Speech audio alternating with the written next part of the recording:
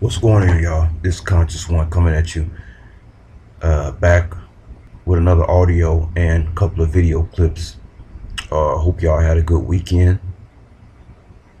I hope y'all staying away from all the hive-minded robots this Monday afternoon and this Monday evening. Uh, just want to talk a little bit about this Kobe Bryant thing. It's kind of of an old topic, but you know, I just want to bring it back up. You know, when this whole thing went down, I was in Cambodia, and I remember when I got the news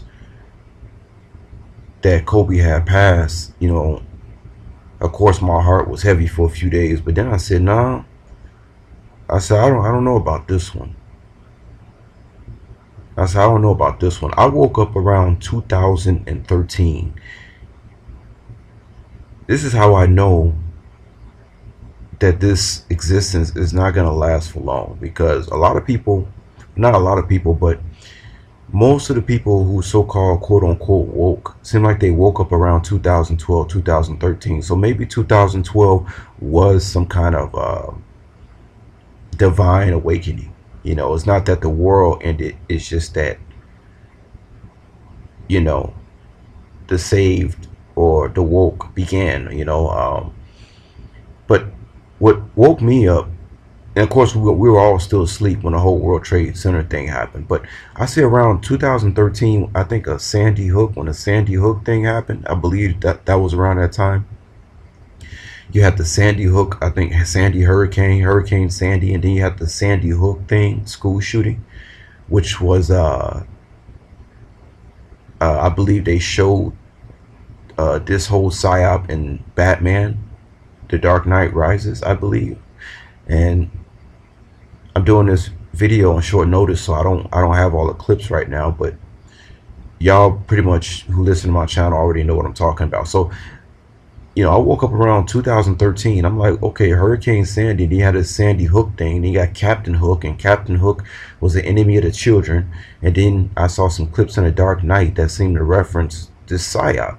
And then that's when I started asking questions like, okay, well, this ain't making sense. So around that time, I was about 33 years old, uh, which 33 being a year that Jesus allegedly died, or he woke up, or he was resurrected or his uh, body, his incorruptible body was, uh, um, excuse me, his corruptible body was made incorruptible.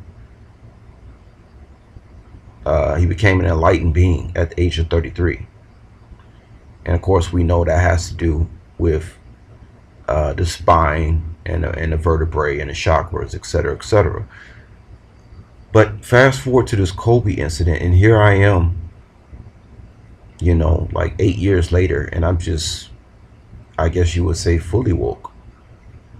I hate using that word because that's a term, you know, they're they're making a mockery out of woke people now. That's you know they're trying to make woke people seem crazy. We're crazy. You're conspiracy theorists, which is, you know, that term came from the government. Conspiracy theorists. No one even heard of what.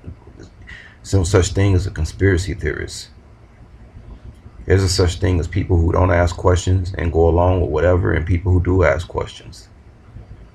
But um, fast forward to this Kobe thing, and um, you know, I was looking at the whole Myles Garrett situation, and I said I still needed a smoking gun, and then I saw a comment from from an uh, individual that stated that uh, this person, Kobe Bryant, who was playing Myles Garrett, was wearing a Ghostbusters Ghostbusters shirt, and I said, "That's it. That's the smoking gun. That's Kobe Bryant."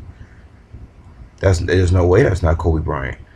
And I see him doing the whole Masonic thing with his hand on his chin. So I'm just going to leave a couple of clips of Kobe Bryant. And uh, for what I know, this is not Myles. This this these two uh, these two clips I'm gonna play. This this is not Myles Garrett. This is Kobe Bryant playing Myles Garrett. We probably never seen. Well, Myles Garrett. I'm pretty sure he's done some interviews, but they were able to make Kobe look so much like Miles Myles Garrett enough that they was able to do a whole another you know, um, interview with him pretending he's Myles Garrett, but these are obviously two different individuals. Okay, so it's it's a real interesting take, folks. It just goes to show you we live in a scripted reality. We live in a fake reality based off mythology and, and myths for the most part.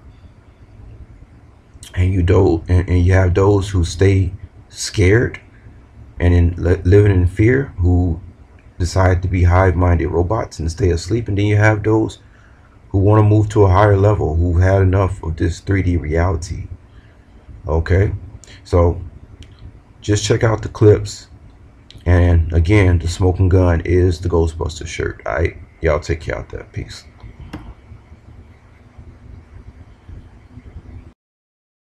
You haven't done any interviews over the last few months. What made you want to do one today? Ah, I mean, it's good timing. Uh, now I can finally, you know, I'm back in the league, so I feel like it's it's, yeah. a good time for me to, to share not only what I've been doing, but you know what I'm doing to take a step forward and leave all that behind me. Were you surprised when you were reinstated? Uh, yes and no. I was hoping for it, so uh, I kind of tried thinking, and speaking into existence, but you know, you never know at the end of the day, and know, whatever the decision is, gotta gotta roll with the punches. Let's go back to November 14th. Walk me through what happened. Uh, I mean, coming off the edge, there's probably like 10, there's less than 15 seconds left. I remember that. And uh, I didn't want to be on the field, but you know, since I was already out there, was, and uh, they were still throwing the ball, decided I was going to go make a play. So he started the ball. He's, you know, he's winding back to throw. I'm going, you know, to hit him in the strike zone. I'm not trying to do anything illegal. I go to take him down. He says some words as we're going down. What did he say to you? I mean, he called me the N word. He called me a stupid N word. Uh, I don't like, I don't say the N word, whether it's you know, with A, ER. To me personally, just shouldn't be said. And whether it's known by family, friends, anyone. And I, I don't want to use it because I don't want to, you know, find that appropriate around me for anyone to use. So when he said it, you know, it kind of sparked something, but I still tried to let it go and still walk away. once he came back, it kind of, you know, kind of reignited the situation. I think a lot of people, yeah. when they heard this allegation, mm -hmm. their reaction was, well, why didn't he say that immediately? I didn't, Oh, because I would have been reaching for justification at the time. Well, he said this, and this is what happened. I wanted to just take it to the NFL. This is what happened, and you know, this is all of what happened, as well as the, the physical altercation part of it. The league said they didn't find evidence of a racial slur. What was your reaction to that? Most quarterbacks wear mics in their helmets. He somehow uh, lost his helmet and had to get another one without a mic. There were guys who were mic'd up near me, uh, near us during that time who didn't hear anything. And from what I've heard, there have been audio during that game that could have heard something or could not have heard something, but know, they don't want to say. So something was said. I know something was said. Now, whether the NFL wants to acknowledge it, that's up to them.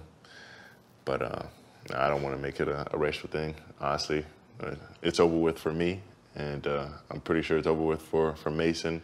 So we just want to move past that and keep on playing football. You told Roger Goodell you, you would like to talk to the Steelers. Uh, you, you said you'd take that opportunity. What would you say to Mason Rudolph? What I say? I mean, I apologize.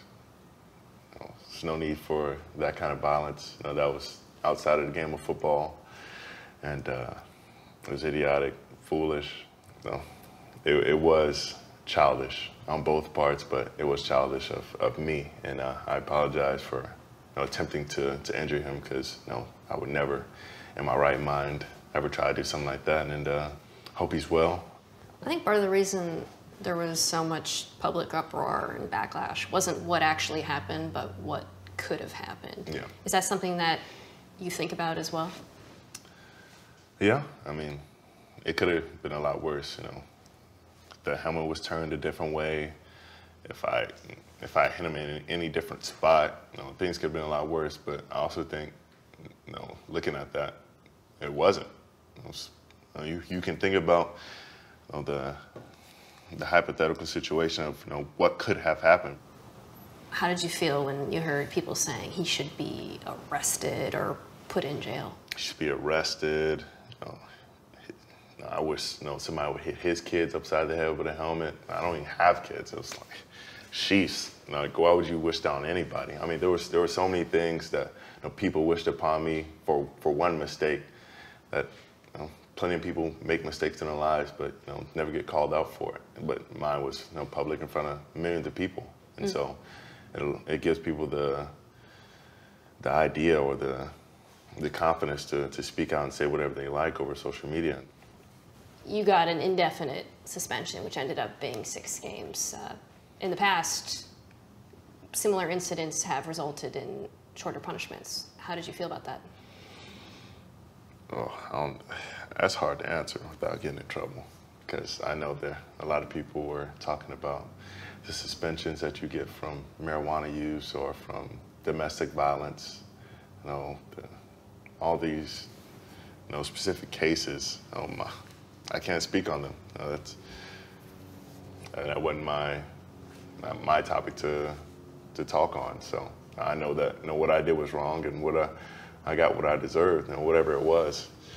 And uh, you know, maybe there should be a little bit more uh, clarity on what you get for, for what you do. And uh, I think domestic domestic violence is, should be a little bit higher than uh, what you do on the football field, because at the end of the day, it's a, it's a violent game. Even though what I did was a little bit past that, but you know, there are some things that have have been uh, looked looked away from or shied away from, at least with the NFL, on, on what they what they you know, give as a punishment for. So that's just my opinion. When you stand back now and just kind of look at all of this in totality, the incident, the aftermath, punishment, now the reinstatement, what do you feel like is the number one thing you've learned from all of this? I just you know, walking away, walking away from the situation, just you know, allowing yourself to to take a second during the situation. You know, allowing yourself to give give yourself a moment for a response instead of reaction. Everyone, thank you for watching ESPN on YouTube. For more sports, more analysis, download the ESPN app. And for live streaming sports and premium content, subscribe to ESPN Plus. We'll see you there. What's good, bro? How you doing? How are you, man? Doing all right. Hey, how does it feel to be back, bro? Feels pretty nice. Uh, Did you speak to Mason at all about it before you got reinstated? I speak to Mason. Not at all. Um, can I just ask, what did you learn from everything that happened? What did I learn? Well, when I release something, you'll see. Or when I get back on the field, you'll see. Right, right, right, right, right. That's nice, man. Dude.